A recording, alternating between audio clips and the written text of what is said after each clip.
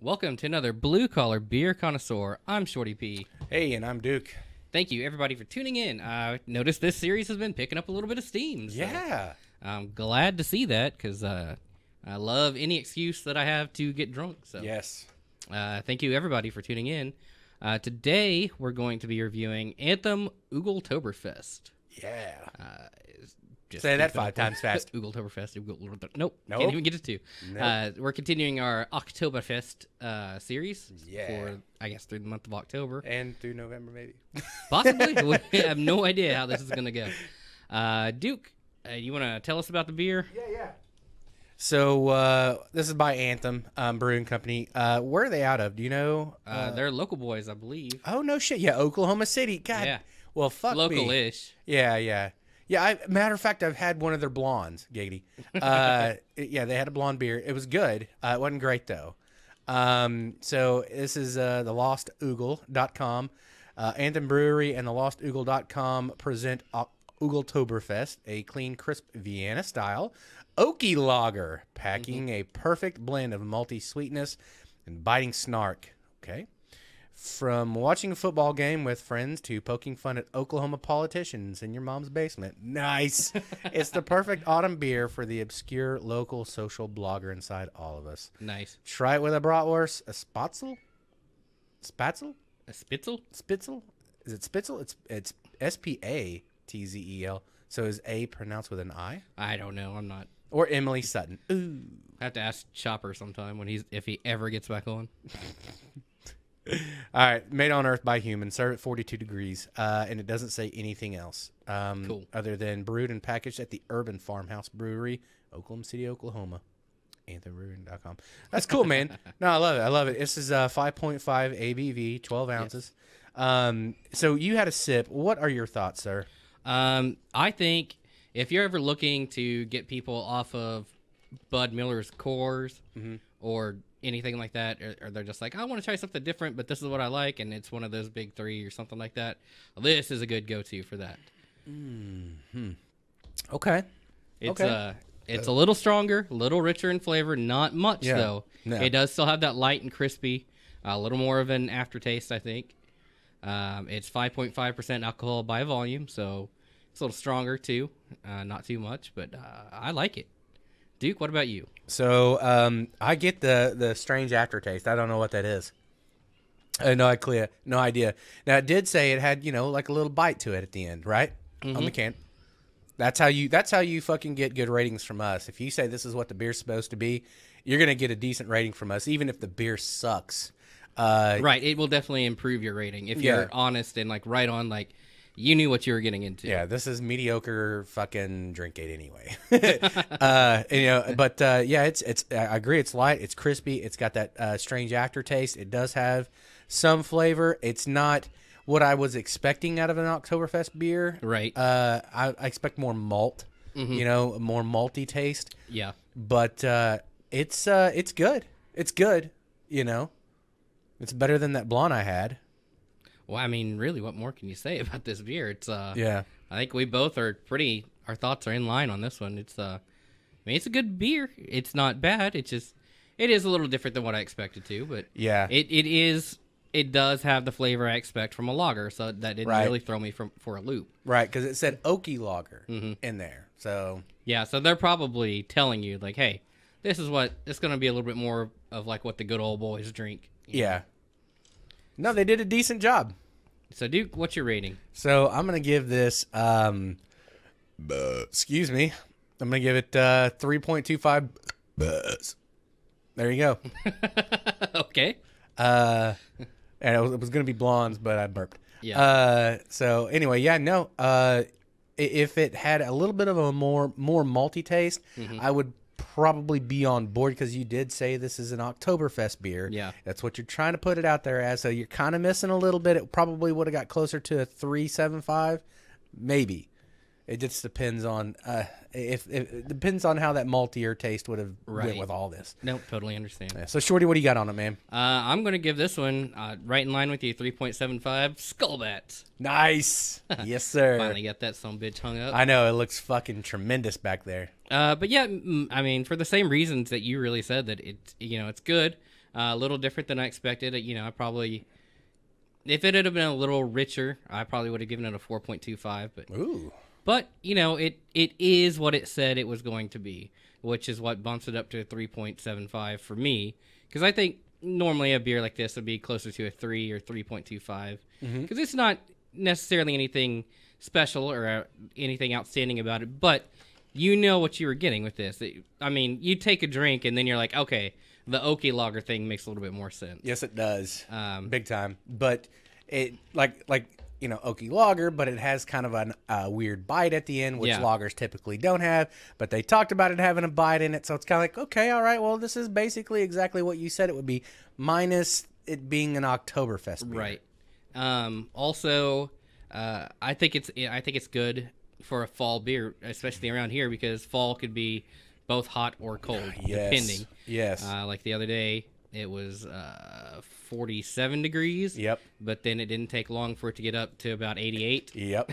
so we ran the gamut that day. So it's uh yeah, it's good for the hot days. It's pretty good for the warm days, and uh, it's good for those uh, crisp days too. yes.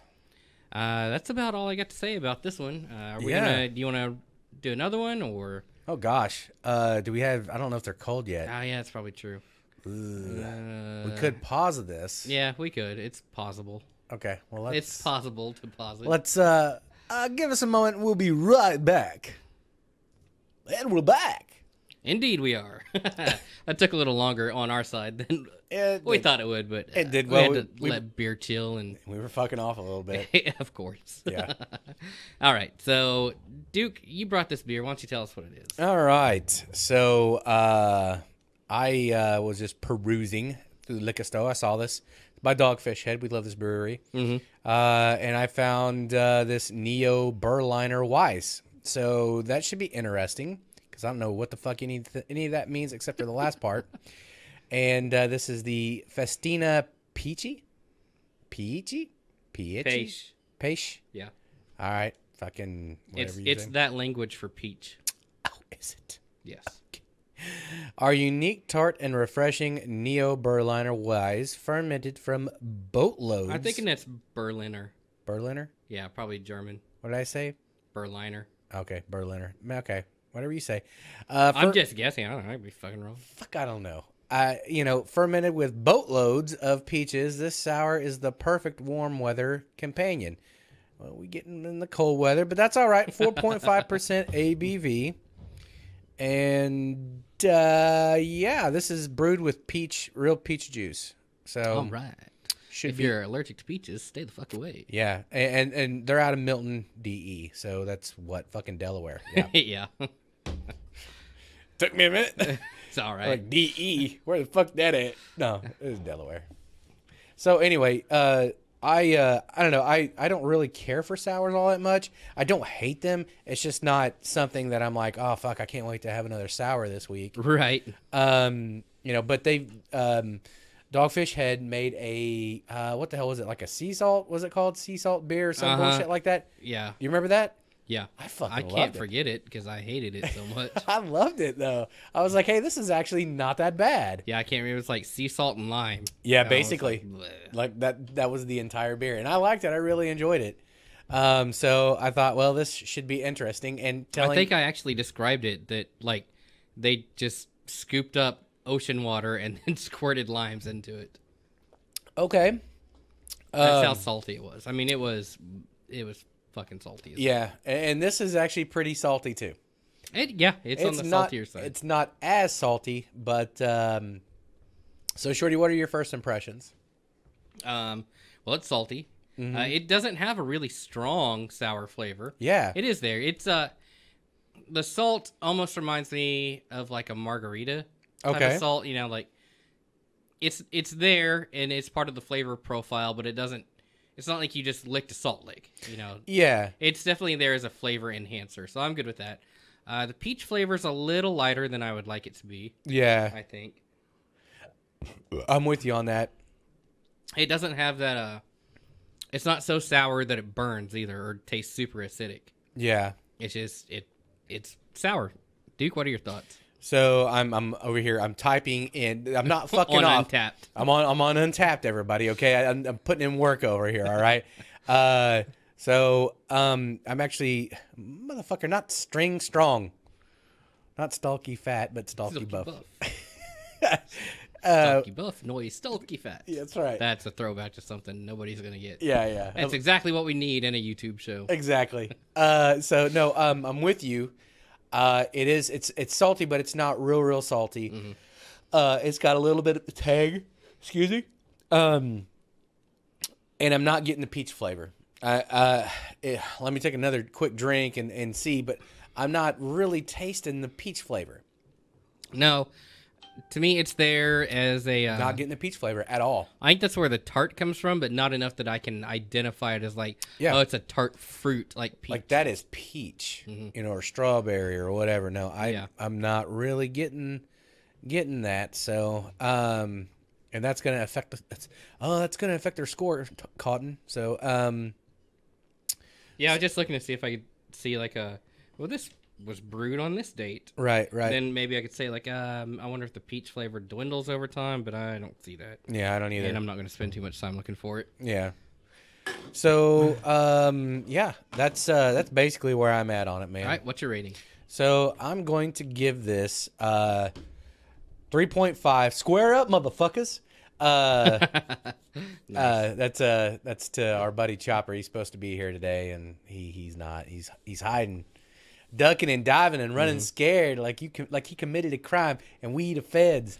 um, so, uh, but yeah, how I got there, um, it probably would have been a 3.75 or a four uh, if uh, they weren't saying this is a peach beer.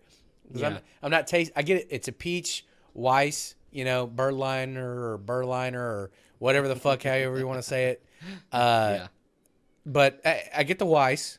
I get that. Mhm. Uh, I don't know what the fuck Birdliner is, so whatever. Um, but uh, but definitely not getting the peach taste, and that's why they got that that.